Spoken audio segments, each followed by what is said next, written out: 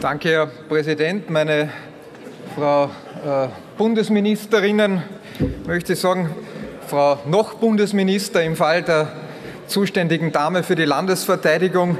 Wissen Sie, wann Ihre heutige Erklärung hier ein Befreiungsschlag hätte sein sollen, da muss ich Sie enttäuschen. Es war der nächste Rohrkrepierer, den Sie hier produziert haben, vor den Augen der Öffentlichkeit im Zusammenhang mit dem österreichischen Bundesheer. Und wenn die ÖVP hier groß den Mund aufmacht und Entschuldigungen einfordert, dann wäre es eigentlich angebracht, dass Sie sich entschuldigen beim österreichischen Bundesheer für das, was Sie in den letzten Wochen an Schaden angerichtet haben, meine sehr geehrten Damen und Herren.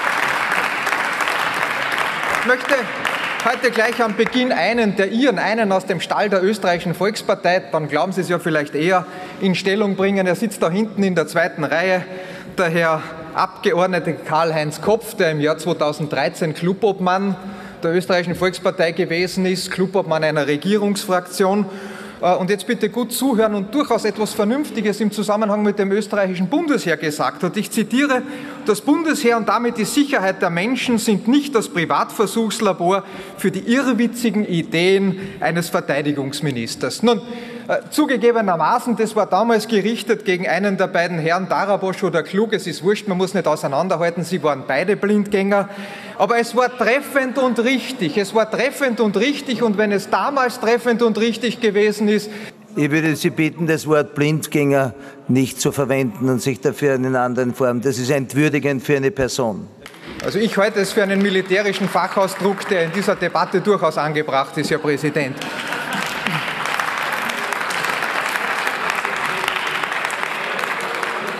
Aber wenn es damals treffend und richtig gewesen ist, dann ist es jetzt noch viel treffender und dann ist es jetzt noch viel richtiger, wenn man diese Worte gegen Sie verwendet, Frau noch Verteidigungsminister.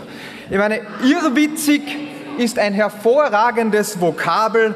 Es ist ein Volltreffer sozusagen. Irrwitzig das ist eine wirklich punktgenaue Bezeichnung für den Kahlschlag, den Sie von Seiten der ÖVP natürlich mit dem Flankenschutz der Grünen, die immer dabei sind, wenn es gegen die österreichische Sicherheit geht, den Sie unter dem Codenamen Heer 2020 durchziehen wollen. Das ist ein Großattentat auf das österreichische Bundesheer, das Sie gegenwärtig ausarbeiten und kein kleiner Kommunikationslapsus, wie Sie uns glauben machen möchten. Frau noch Verteidigungsminister, Sie haben sich heute farblich ein bisschen umadjustiert. Wahrscheinlich haben Sie schon gemerkt, dass Ihre Inszenierung in erdfarbenen Ensemblen äh, über eines nicht hinwegtäuschen kann, nämlich darüber, dass Sie in Wahrheit agieren wie eine politische Abrissbirne der österreichischen Volkspartei gegen das österreichische Bundesheer und damit gegen die militärische Landesverteidigung.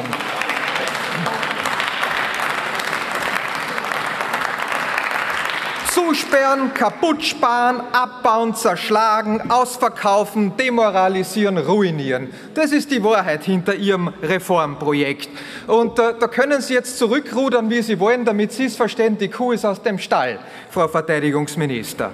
Der größte Feind des österreichischen Bundesheeres, der größte Feind des österreichischen Bundesheeres, der sitzt gegenwärtig nicht jenseits unserer Landesgrenzen, sondern an der Spitze der Befehlskette des eigenen Ministeriums. Dort sitzt der größte Feind des österreichischen Bundesheers. Und am Ende, was soll herauskommen? Ein Zwutschgerl-Bundesheer, möchte ich fast sagen. Eine Minimundus-Armee.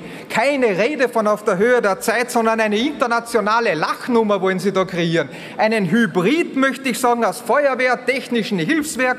Und wenn die ÖVP das dann braucht, dann dürfen unsere Soldaten auch noch ein bisschen Pisten treten, Regale schlichten, Backerl schupfen. Ja, Erntehelfer, das ginge vielleicht auch noch, wenn der Bauernbund gewinnt gewisse Begehrlichkeiten anmeldet.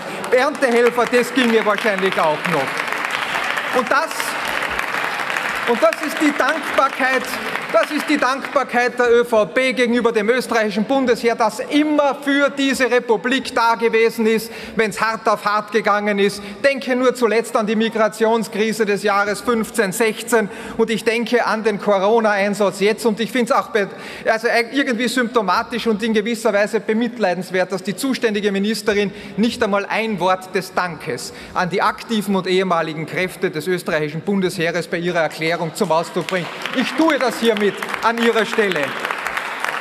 Statt statt das, Bundesheer, statt das Bundesheer zu befördern, degradieren sie es, um im Jargon zu bleiben.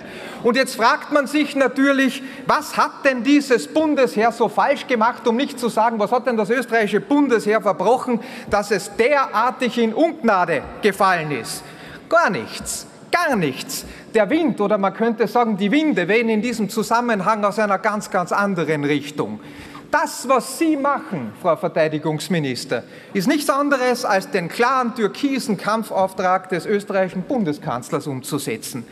Der Regierungschef in Österreich, Bundeskanzler Kurz, das ist einer, der mitsamt seinem Anbetungsverein keinen positiven Bezug zum österreichischen Bundesheer hat, zumindest nicht was die militärische Komponente und was die Landesverteidigung betrifft. Da ist einer, der kein Verständnis hat für die unverzichtbare Rolle des Bundesheers im Rahmen der Verfassung zum Erhalt der Sicherheit, der Freiheit, der Neutralität und unserer Souveränität. Und es ist auch jemand, der null Verantwortungsbewusstsein über die, auch wenn er es nicht glaubt, enden wollende Phase seiner politischen Macht hinaus an den Tag legt. Schauen Sie, das Bundesheer, meine sehr geehrten Damen und Herren, hat aus Sicht dieser türkisen Blase ein paar grundlegende Fehler. Erstens, es kostet was und es ist dauernd lästig. Zweitens, es ist nicht hip genug, zu wenig Cyber und so weiter. Und drittens und vor allem, es ist nicht bis in die letzte Phase türkis oder schwarz eingefärbt, so wie man es am Paradebeispiel Innenministerium sehen kann. Und da schließt sich dann wieder der Kreis, weil es haben sich ja schon viele gefragt, bitte, wie um Himmels Willen wird denn diese Frau Tanner aus Niederösterreich, wie wird denn die zur Verteidigungsministerin? Nur durch eine besondere Affinität zum Bundesheer sind sie nicht aufgefallen. Es ist etwas anderes, was sie auszeichnet. Ich möchte sagen, es ist der Kadavergehorsam, der der ÖVP Niederösterreich immanent ist, der dazu führt, dass sie ohne Scham von der Spitze des Ressorts aus das Bundesheer ruinieren. Da waren sie die Bestqualifizierte und deswegen sitzen sie da, wo sie sitzen. Und am Ende steht ein kleines, billiges, EU-kompatibles und vor allem vollkommen schwarz und türkis eingefärbtes Bundesheer. Das ist die Zukunftsvision, auf die Sie hinarbeiten. Und ich sage das deswegen mit dieser Leidenschaft, weil ich selber erlebt habe und weil wir in der Koalition gegen diesen Wahnsinn Widerstand geleistet haben. Es war ja auch der Auftrag desselben Bundeskanzlers an den Verteidigungsminister Kunasek, von der Spitze des Heeres gegen das Bundesheer vorzugehen. Aber da hat er auf Granit gebissen, der Herr Bundeskanzler. Dort hat er auf Granit gebissen. Jetzt gibt es keine keinen Widerstand mehr und jetzt wird dieser Versuch wiederholt mit Ihnen als Oberkommandierender dieses parteipolitischen Auftrags.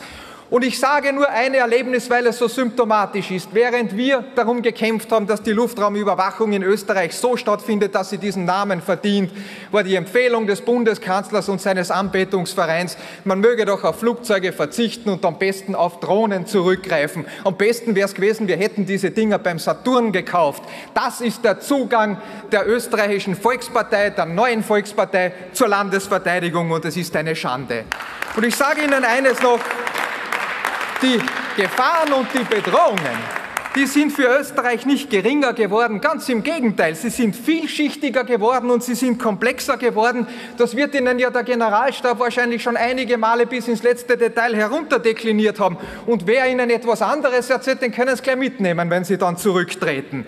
Es ist eben so, dass die Welt nicht nur aus Cyberattacken besteht, sondern da gibt es auch noch Migrationskrisen, die Sie auch bis vor kurzer Zeit für, unmöglich gehalten haben. Da gibt es Konflikte in unserer Nachbarschaft. Können Sie mir die Garantie geben, dass alle unsere Nachbarländer, die militärisch gut ausgerüstet sind, politisch immer stabil bleiben in der nächsten Zeit? Können Sie die Garantie übernehmen? Und was sagen Sie eigentlich zu terroristischen Bedrohungen, die sich nicht nur im Cyberraum abspielen, sondern wo wir wissen, dass Terroristen auch schweres konventionelles Gerät zum Einsatz bringen und dass wir dort in der Lage sein müssen, entsprechend dagegen zu halten? Das können Sie ja nicht einfach wegwischen. Und alle anderen Länder rund um uns herum, und nehmen Sie nur die Schweiz, sind so intelligent, um darauf zu reagieren und stocken auf, was die Bewaffnung betrifft und was die Mannstärke betrifft. Das nenne ich verantwortungsbewusste Verteidigungspolitik. Das ist das Gegenteil von dem, was Sie hier aufführen. Und am Geld, Frau Minister, kann es nicht liegen.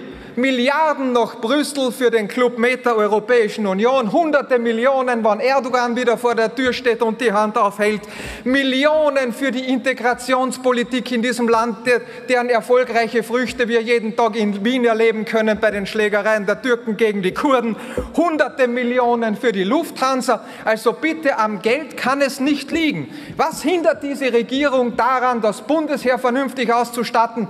Dort müssen unsere Söhne einrücken. Das sind Arbeitsplätze, die in Österreich gesichert werden. Das sind äh, wirklich wichtige wirtschaftliche Faktoren für die Region. Das ist ein Stück Identität und es ist vor allem der letzte und effektivste Garant für unsere Sicherheit. Aber da haben Sie kein Geld. Es ist ein Jammer, meine sehr geehrten Damen und Herren. Und bei all dem Negativen bleibt eigentlich nur ein Trost, nämlich die Feststellung, dass das österreichische Bundesheer schon viele schwierige Phasen überlebt hat und es wird auch Ihre politische Ära überleben, Frau Noch-Verteidigungsminister. Das österreichische Bundesheer wird es noch geben, wenn diese Regierung längst der Vergangenheit angehört. In diesem Sinne, lang lebe das österreichische Bundesheer.